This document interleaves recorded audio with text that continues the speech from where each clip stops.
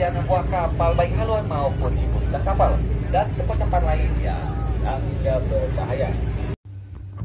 Hai bosku, di video kali ini kita akan bahas mengenai tips-tips perjalanan ke Sabang. Tapi sebelum kita mulai, eh, saya mau ngingatin jangan lupa tekan tombol subscribe, jangan lupa tekan loncengnya juga, like dan share ke seluruh media sosial milik kamu. Oke langsung kita mulai. Jadi eh, yang pertama kita bahas adalah apa saja benda yang perlu dibawa dalam melakukan perjalanan liburan ke Sabang. Udah otomatis yang pertama itu kita harus membawa eh, KTP atau identitas. Dalam hal ini disarankan kita membawa identitas lebih dari satu. Gunanya karena itu adalah kota wisata, bisa jadi ketika kita misalnya menyewa sepeda motor atau menginap di hotel, mereka kan meminta eh, KTP atau identitas lainnya itu sebagai jaminan. Nah, ketika KTP kita itu ditahan, eh, untuk mengamankan kita dalam melakukan perjalanan, sebaiknya kita membawa identitas cadangan. Itu dia gunanya. Kenapa saya sarankan membawa identitas lebih dari satu. Kemudian lanjut yang kedua, bawalah pakaian ganti secukupnya. Misalnya kita merencanakan perjalanan liburan kita itu tiga hari, ya udah bawa aja misalnya tiga pasang. Tiga pasang itu digunakan ketika kita melakukan perjalanan, misalnya pergi kedatangan, kemudian selama perjalanan di sana juga pulang. Eh, jangan lupa membawa cadangan dan pakaian tidur. Eh, kenapa disarankan membawa pakaian secukupnya? Karena eh, jika kita membawa terlalu banyak itu juga menyulitkan kita dalam melakukan perjalanan. Kemudian yang ketiga, jangan lupa membawa perlengkapan mandi secukupnya. Eh, namun sekalipun misalnya di tempat kita nginep itu disediakan seperti sabun atau odol, tetapi kayak saya pribadi sih itu kurang, masih perlu tambahan. Nah, di sini juga saya menyarankan membawa deodoran spray atau parfum. Seperti yang kita tahu Sabang itu adalah kota yang masih banyak hutannya, jadi eh, ada kemungkinan-kemungkinan hewan liar yang ada di sana. Dengan deodoran spray atau parfum itu menyamarkan bau aroma manusia. Seperti yang kita tahu hewan liar itu eh, sensitif terhadap aroma-aroma manusia. Bisa jadi dia penasaran nah, mendekati kita, baik itu serangga atau hewan liar lainnya. Tapi selama saya di sana sih eh, tidak ada sih hewan liar yang mengganggu atau apa. Tapi kata warga sekitar sih masih ada babi liar gitu. Tapi sangat kecil sekali kemungkinannya untuk didatangi. Kemudian lanjut kita disarankan untuk membawa cemilan-cemilan. Cemilan-cemilan sebagai penunda lapar. Di sini saya sarankan membawa roti yang terbuat dari susu. Jadi kayak misalnya kita melakukan perjalanan jauh, tiba-tiba lapar, nah kita punya cadangan sebagai penunda lapar sampai nanti kita ketemu tempat makan yang sesuai dan memungkinkan. Terus jangan lupa membawa air mineral. Sabang itu adalah suasana pantai. Tentunya seperti yang kita tahu, suasana pantai itu hidrasi sedikit lebih cepat dari daerah-daerah lainnya. Oke, lanjut. Kita bahas mengenai perjalanan kita menuju Sabang. Karena saya stay-nya di Medan, kita ambil titik start dari Medan. Nah, pilihan transportasi itu ada dua. Yang pertama mau naik pesawat atau naik bus. Seperti yang kita tahu, kedua alat transportasi ini memiliki kelemahan dan kelebihannya masing-masing.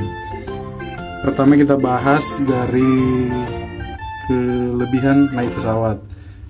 Kalau naik pesawat mungkin waktu tempuhnya lebih cepat ketimbang bus. Kemudian energi yang dikeluarkan itu nggak sedikit, eh nggak terlalu banyak karena waktu tempuhnya itu sedikit lebih cepat.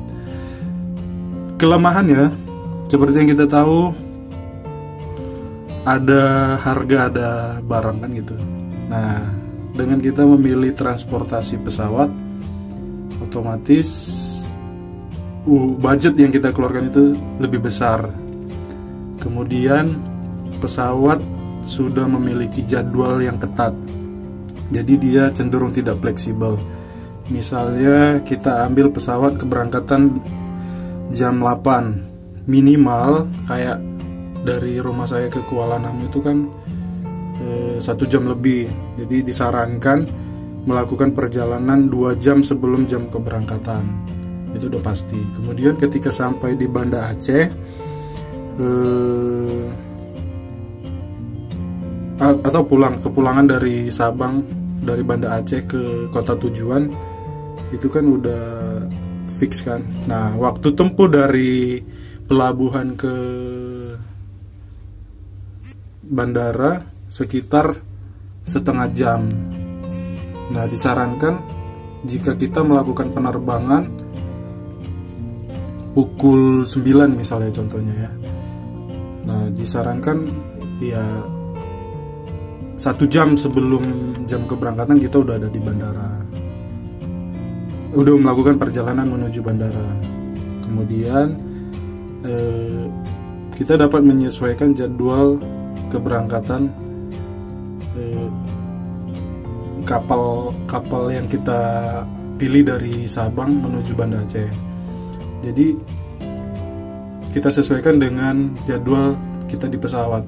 Nah, disarankan untuk melakukan kalau kita memilih transportasi dengan pesawat, sebaiknya tidak melakukan eh, tidak apa durasi perjalanan kita itu lebih dari tiga hari karena pergi dan pulang itu sudah memakan waktu dua hari.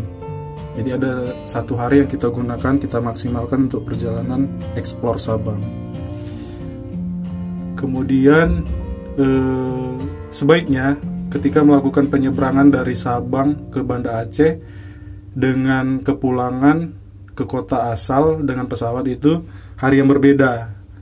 Karena penyeberangan dari Banda Aceh ke pesawat itu tergantung cuaca. Jadi bisa dapat kemungkinan dibatalkan sewaktu-waktu. Jadi kalau kita mengambil kepulangan dengan pesawat hari yang sama dengan penyeberangan dari Sabang ke Banda kemungkinan kita akan mengalami e, keterlambatan sehingga kita bisa saja ketinggalan pesawat. Berbeda dengan bus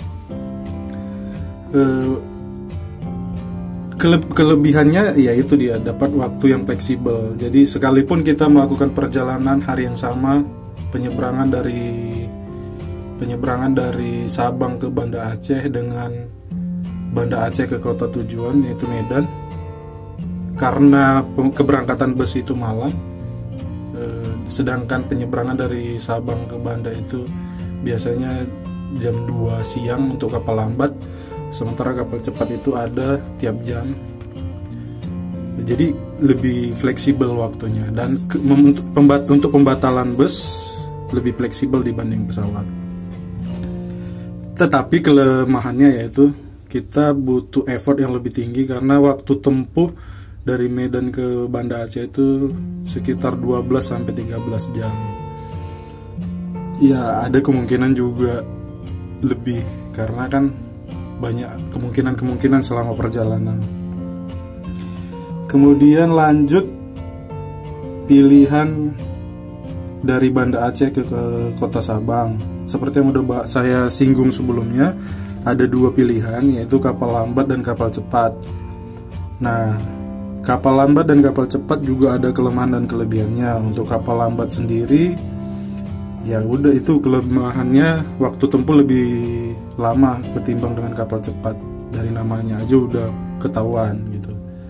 Nah kelebihannya dari segi biaya.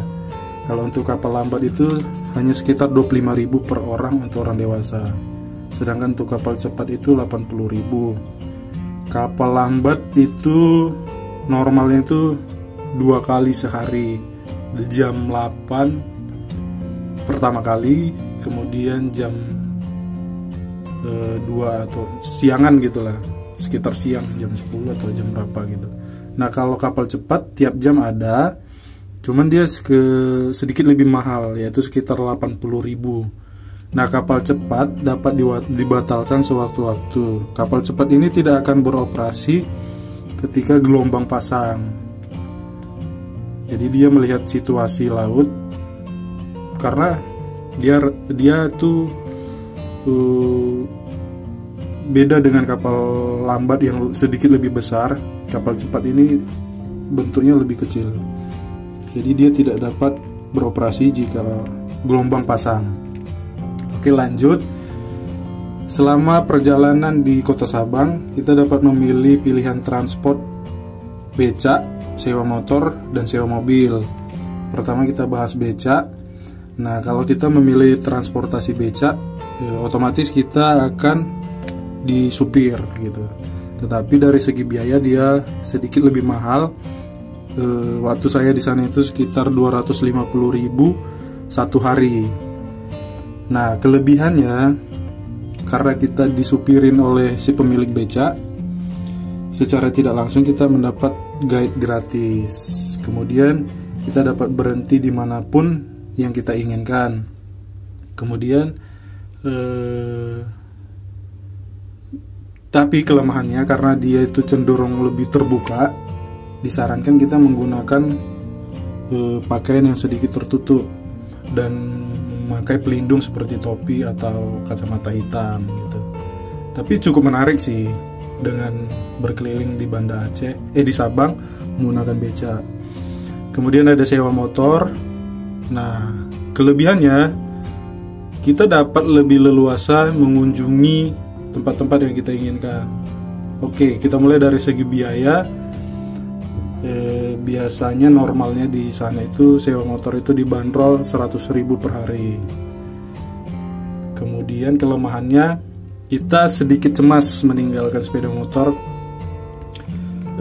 di sembarang tempat tapi sebenarnya di Sabang itu cenderung aman sih ya tapi walaupun karena kita nyewa tetap banyak hal yang harus kita jaga kemudian eh, sebagai jaminannya kita KTP kita akan ditahan. KTP kita ditahan sebagai jaminan. Kemudian kemudian hmm, sewa motor sewa motor ini. Kemudian sewa motor eh, itu saja. Mungkin kita lanjut ke sewa mobil. Untuk sewa mobil eh enggak sewa motor. Sewa motor itu dapat di di pelabuhan ada di pelabuhan ada. Jadi gitu kita sampai di kota Sabang. Di situ juga ada penyewaan sepeda motor. Atau di kota Sabang juga ada dan ada juga kontak-kontaknya bisa kita temukan di di internet dengan browsing. Atau nanti saya buat di description ada sewa sepeda motor becak dan sewa mobil yang bisa kita hubungi. Kemudian ada sewa mobil juga uh, rental. Ini sedikit lebih mahal. Cuman karena saat, pada saat itu saya nggak pakai sewa mobil jadi saya tidak bisa sebutkan berapa harganya sewa mobil oke yang terakhir pilihan menginap di kota atau di pinggir pantai mau menginap di kota juga dekat dari laut kelebihannya kita dapat menemukan tempat makan, pilihan-pilihan tempat makan gitu. Kemudian bisa menginap juga di pinggir pantai ada beberapa cottage-cottage penginapan di pinggir pantai yang harganya lumayan terjangkau. Jangan takut tidak kebagian tempat menginap karena di peak season sekalipun pasti ada kamar gitu. Tapi untuk amannya sih misalnya kita mau stay di Sabang tiga hari ambil aja dulu untuk malam pertama satu malam gitu. Kemudian untuk malam selanjutnya kita bisa e, mencari di sekitar sekitar pinggiran kota Sabang. Di kota Sabangnya juga ada gitu. Nah kelemahannya kalau kita menginap di pinggir pantai e, tempat makan itu kadang ada beberapa hotel yang tidak menyediakan makanan 24 jam. Jadi sewaktu-waktu kita lapar kita akan kesulitan. Ada transportasi online cuman sepertinya hmm, kurang tahu sih. Soalnya saya pernah waktu di Sabang nyoba order makanan eh, tidak ada driver yang mengambil pesanan saya. Jadi tapi saya kurang tahu sih ada atau tidaknya. Cuman pada saat saya berkeliling di kota Sabang saya lihat ada plakat gitu salah satu transportasi online. Tapi pada saat dipesan eh, di aplikasi juga kan dikasih tahu kalau misalnya di daerah itu ada atau tidaknya layanan transportasi online. Tapi pada saat saya order makanan order saya tidak ada yang menerima gitu. Seolah-olah tidak ada driver yang beroperasi gitu. Itu saja yang kita bahas. Oke yang terakhir eh, pertimbangan kembali lama stay anda liburan di kota Sabang. Pertimbangannya yang pertama eh, perjalanan pergi kedatangan dan perjalanan kepulangan itu harus dibuat secara khusus. Nah kalau pergi misalnya kita eh, start dari kota Banda Aceh dapat kapal lambat itu jam 8 waktu tempuh sekitar satu setengah sampai 2 jam. Berarti kita sampai di kota Sabang itu jam 10 kurang. Dari jam 10 sampai sore itu adalah waktu yang cukup untuk mengeksplor sekitarnya dulu kota Sabang. Tapi untuk kepulangan sekalipun kita dapat kapal yang paling pagi atau siang jam 2 kapal lambat eh, kita benar-benar harus sudah ready dari pagi gitu. Jadi nggak bisa di sekaliankan nah disarankan untuk melakukan perjalanan itu minimal tiga hari. Jadi ada satu hari khusus untuk mengelilingi kota Sabang. Kalau hanya sekedar berkeliling satu hari cukup. Gitu dia.